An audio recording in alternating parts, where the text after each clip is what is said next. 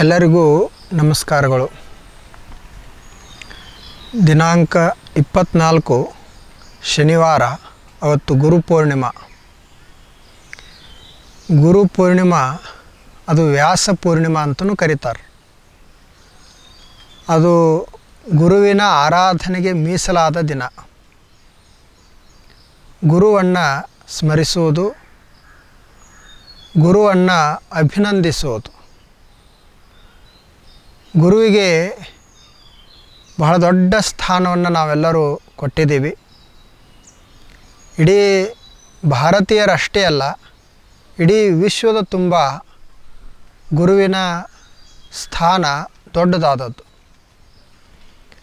ಅವತ್ತು ಈ ಜ್ಞಾನ ಯೋಗಾಶ್ರಮದಲ್ಲಿಯೂ ಕೂಡ ಗುರುಪೂರ್ಣಿಮೆಯನ್ನು ಸುಮಾರು ನಲವತ್ತು ವರ್ಷಗಳಿಂದ ಆಚರಣೆಯನ್ನು ಮಾಡ್ತಾ ಬಂದಿದ್ದಾರೆ ಬೆಳಗ್ಗೆ ನಾಲ್ಕು ಗಂಟೆಗೆ ಜಪಯಜ್ಞ, ಆನಂತರ ವೇದಾಂತ ಕೇಸರಿ ಮಲ್ಲಿಕಾರ್ಜುನ ಅಪ್ಪುಗಳವರ ಪ್ರವಚನವನ್ನು ಒಂದು ತಾಸು ಕೇಳುವುದು. ಆನಂತರ ಗದ್ದಿಗೆ ಪೂಜೆ, ಆ ಬಳಿಕ ಬಂದ ಭಕ್ತಾದಿಗಳಿಗೆ ಪ್ರಸಾದ. ಹೀಗೆ ಪ್ರತಿ ವರ್ಷ ಗುರುಪೂರ್ಣಿಮೆಯನ್ನು ಆಚರಿಸುವಂಥ ಪದ್ಧತಿ ಅದು.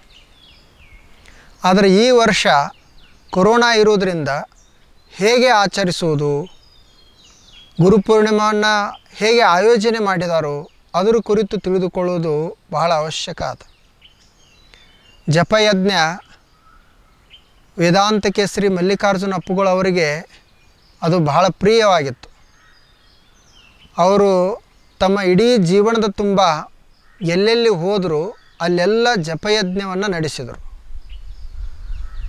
ಅವರೇ ಸ್ವತಃ ಮೂರು ಮೂರು ತಾಸುಗಳವರೆಗೆ ಜಪವನ್ನು ಹೇಳಿಸ್ತಿದ್ದರು ಹತ್ತೊಂಬತ್ತು ನೂರ ಐವತ್ತು ಅರವತ್ತರ ದಶಕದಲ್ಲಿ ಅವರು ಜಪಯಜ್ಞವನ್ನು ಪ್ರಾರಂಭ ಮಾಡಿದರು. ಅವರು ಜಪಯಜ್ಞದ ಜನಕ ಅಂತಲೇ ಹೇಳಬೇಕು. ಗ್ರಂಥಗಳಲ್ಲಿ, ಶಾಸ್ತ್ರಗಳಲ್ಲಿ ಜಪಯಜ್ಞದ ಕುರಿತು ಹೇಳಿದರು. ಅದನ್ನು ಸಾರ್ವಜನಿಕವಾಗಿ ಅಷ್ಟು ದೊಡ್ಡ ಪ್ರಮಾಣದಾಗ ಯಾರೂ ಆಚರಣೆ ಮಾಡಿರಲಿಲ್ಲ. ಆದರೆ ಅದನ್ನು ಮಲ್ಲಿಕಾರ್ಜುನ ಅಪ್ಪುಗಳನ್ನೇ, ಮಲ್ಲಿಕಾರ್ಜುನ ಅಪ್ಪುಗಳೇ ಅದನ್ನು ಮಾಡಿದರು. ಆದ್ದರಿಂದ ಇಂದಿನವರೆಗೂ ಆ ಜಪಯಜ್ಞ ಕಾರ್ಯಕ್ರಮ ಮುಂದುವರಿತಾ ಬಂದದ. ಜಪಯಜ್ಞ ಭಗವದ್ಗೀತೆಯಲ್ಲಿ ಹೇಳ್ತದ. ಯಜ್ಞಾಂ ಜಪಯಜ್ಞೋಸ್ಮಿ ಅನ್. ಎಲ್ಲ ಯಜ್ಞಗಳಲ್ಲಿ ನಾನು ಜಪಯಜ್ಞನಾಗಿದ್ದೇನೆ. ನನಗೆ ಜಪಯಜ್ಞ ಬಹಳ ಪ್ರಿಯವಾದದ್ದು. ಉಳಿದ ಯಜ್ಞಗಳಲ್ಲಿ ನಾವು ಹವಿಷನ್ನು ಹಾಕ್ತೇವೆ. ಆದರೆ ಜಪಯಜ್ಞ ಸ್ವಲ್ಪ ಬೇರೆ. ಈ ಮನಸ್ಸನ್ನುವಂಥ ಯಜ್ಞ ಕುಂಡದಲ್ಲಿ ಇದೇ ಒಂದು ಕುಂಡ. ಇದರಲ್ಲಿ ಭಗವನ್ ನಾಮಸ್ಮರಣೆ, ಗುರುವಿನ ಸ್ಮರಣೆ, ಪವಿತ್ರ ಮಂತ್ರಗಳ ಸ್ಮರಣೆಯನ್ನು ಮಾಡ್ತಾ ಅಲ್ಲಿ ಒಂದು ಯಜ್ಞ ನಡೀತದೆ, ಅದೇ ಜಪಯಜ್ಞ. ಅದರಿಂದ ಮನಸ್ಸು ಪವಿತ್ರ ಆಗ್ತದೆ. ನಿರ್ಮಲ ಆಗ್ತದೆ. ಅದರಿಂದ ಫಲ ಏನು ಅಂತಂದ್ರೆ ಶಾಂತಿ. ಅದು ಜಪಯಜ್ಞ. ಆದ್ದರಿಂದ ಅದನ್ನು ನಾವೆಲ್ಲರೂ ಆಚರಿಸೋದು. ಇನ್ನು ಈ ವರ್ಷ ಹೇಗೆ ಆಚರಿಸುವುದು ಈ ಜಪಯಜ್ಞ ಗುರುಪೂರ್ಣಿಮಾ ಕಾರ್ಯಕ್ರಮವನ್ನು? ಈ ವರ್ಷ ಕೊರೋನಾ ಇರೋದರಿಂದ ಅಪ್ಪುಗಳು ಹೇಳಿದಾರ, ಈ ವಿಜಯಪುರ ಜ್ಞಾನ ಯೋಗಾಶ್ರಮಕ್ಕೆ ಹಳ್ಳಿಗಳಿಂದ ಜನರು ಬರುವುದು ಬೇಡ. ಯಾಕಂದರೆ ಅವರ ಆರೋಗ್ಯ ತೊಂದರೆ ಆಗುವುದು ಬೇಡ. ಎಲ್ಲ ಜನರು ಸುರಕ್ಷಿತವಾಗಿರಬೇಕು. ಹಾಗಾದರೆ ಗುರುಪೂರ್ಣಿಮೆಯನ್ನು ನಿಲ್ಲಿಸೇ ಬಿಡುವುದೇನು? ಹಾಗೂ ಇಲ್ಲ. ಗುರುಪೂರ್ಣಿಮೆಯನ್ನು ಆಚರಿಸುವುದು. ಆದರೆ ಸ್ವಲ್ಪ ವಿಧಾನ ಮಾತ್ರ ಬೇರೆ.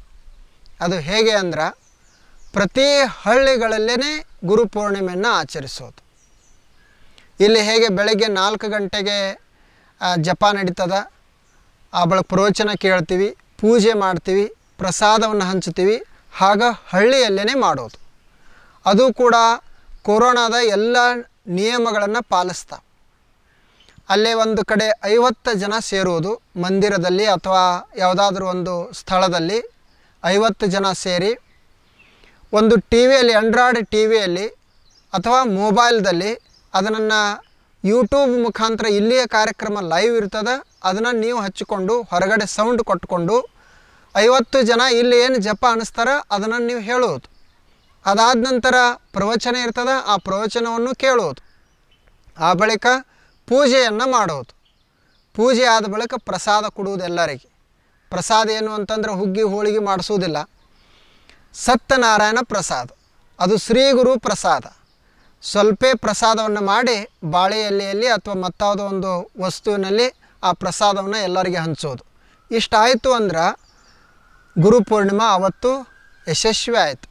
ಹೀಗೆ ಎಲ್ಲ ಊರುಗಳಲ್ಲಿ ಮಾಡುವುದದು ಎಲ್ಲೆಲ್ಲಿ ಗುರುಪೂರ್ಣಿಮೆಯನ್ನು ಮಾಡಲಿಕ್ಕೆ ಸಾಧ್ಯದ ಅಲ್ಲೆಲ್ಲ ಹಳ್ಳಿಗಳಲ್ಲಿ ಗುರುಪೂರ್ಣಿಮೆಯನ್ನು ಆಚರಿಸೋದು. ಈಗ ನಾವು ಸುಮಾರು ಎರಡು ನೂರು ಹಳ್ಳಿಗಳನ್ನು ಸಂಪರ್ಕ ಮಾಡೇವೆ ಅಂತ ಇಟ್ಕೊಳ್ಳೋಣ. ಎರಡು ನೂರು ಹಳ್ಳಿಗಳಲ್ಲಿ ಪ್ರತಿ ಹಳ್ಳಿಯಲ್ಲಿ ಐವತ್ತು ಜನ ಸೇರಿದ್ರಂದ್ರೆ ಎರಡು ನೂರು ಹಳ್ಳಿಗಳಲ್ಲಿ ಅದೇ ಹತ್ತು ಸಾವಿರ ಜನ ಆಯಿತು. ಹತ್ತು ಸಾವಿರ ಜನ ಜಪಯಜ್ಞೆ ಮಾಡಿದಂತೆ ಆಯಿತು. ಹತ್ತು ಸಾವಿರ ಜನ ಪ್ರವಚನ ಕೇಳಿದಂಗೆ ಆಯಿತು ಹತ್ತು ಸಾವಿರ ಜನರು ಪೂಜೆಯಲ್ಲಿ ಭಾಗವಹಿಸಿದರು. ಹತ್ತು ಸಾವಿರ ಜನ ಪ್ರಸಾದವನ್ನು ಸ್ವೀಕರಿಸಿದರು. ಮತ್ತು ಯಾರಿಗೂ ತೊಂದರೆ ಇಲ್ಲ. ಕೊರೋನಾದ ನಿಯಮಗಳನ್ನು ಪಾಲಿಸಿದಂತೆ ಆಯಿತು. ಕೇವಲ ಇಲ್ಲಿ ವಿಜಯಪುರದ ಅಷ್ಟೇ ಸ್ಥಾನಿಕ ಅಷ್ಟೇ ಸೀಮಿತ ಆಗ್ತಿತ್ತು. ಈಗ ಇಡೀ ಕರ್ನಾಟಕ, ಮಹಾರಾಷ್ಟ್ರ ತುಂಬ ಮತ್ತು ದೇಶ ವಿದೇಶಗಳಲ್ಲಿಯೂ ಸಹಿತ ಗುರುಪೂರ್ಣಿಮೆಯನ್ನು ಆಚರಿಸಿದಂಗೆ ಮಾಡಿದಂಗೆ ಆಯಿತು ಆದ್ದರಿಂದ ತಾವೆಲ್ಲರೂ ಗುರುಪೂರ್ಣಿಮೆಯನ್ನು ನಿಮ್ಮ ನಿಮ್ಮ ಹಳ್ಳಿಗಳಲ್ಲೇ ಆಚರಿಸಿ, ಅದರ ಜೊತೆಗೆ ಈಗಾಗಲೇ ಯಾರ್ಯಾರಿಗೆ ಸಂಪರ್ಕ ಮಾಡಿದ್ದೀವಿ, ಅವರು ಆ ತಯಾರಿಯನ್ನು ಮಾಡಿಕೊಡ್ರಿ. ಇನ್ನೂ ಯಾರ್ದು ಸಂಪರ್ಕ ಆಗಿಲ್ಲ, ಅವರೆಲ್ಲರೂ ಸಹಿತ ತಯಾರಿಯನ್ನು ಮಾಡಿಕೊಡ್ರಿ. ಜಪಯಜ್ಞ ಬಹಳ ಮುಖ್ಯ, ಸ್ಮರಣೆ ಬಹಳ ಮುಖ್ಯವಾದದ್ದು. ಬಸವಣ್ಣವ್ರು ಹೇಳ್ತಾರೆ, ಚಕೋರಂಗೆ ಚಂದ್ರಮಣ ಬೆಳಗಿನ ಚಿಂತೆ. ಅಂಬುಜಕ್ಕೆ ಭಾನುವಿನ ಉದಯದ ಚಿಂತೆ, ಭ್ರಮರಂಗೆ ಪರಿಮಳವ ಬಂಡುಂಬುವ ಚಿಂತೆ, ಎನಗೆ ನಮ್ಮ ಕೂಡಲ ಸಂಗಮ ದೇವನ ನೆನೆಯುವುದೇ ಚಿಂತೆ ಅಂತ ದೇವರನ್ನು ಸ್ಮರಿಸುವುದೇ ನನ್ನ ಚಿಂತೆ ಅಂತ ಬಸವಣ್ಣವರು ಹೇಳಿದರು. ಅದಕ್ಕಾಗಿಯೇ ಅವರಿಗೆ ಭಕ್ತಿಯ ಭಂಡಾರಿ ಅಂತ ಕರೆಯೋದು. ಸಂತ ತುಕಾರಾಮ್ ಮಹಾರಾಜರು ಹೇಳಿದರು, ಅವರಿಗೆ ವಿಠಲನಿಗೆ ಪ್ರಾರ್ಥನೆಯನ್ನು ಮಾಡಿಕೊಂಡ್ರು. ನನಗೆ ಏನೇನು ಕೊಡಬೇಡ ನನಗೆ ದೇವರ ಸ್ಮರಣೆಯನ್ನು ಮಾತ್ರ ಕೊಡು ಅಂತ ಕೇಳಿಕೊಂಡ್ರು. ಹೇಚಿದಾನ ದೇಗ ದೇವ ತುಜ ವಿಸರಣ ಭಾವ ಅಂತ. ನಿನ್ನ ನೆನಪು ನನಗೆ ಯಾವಾಗಲೂ ಇರಬೇಕು.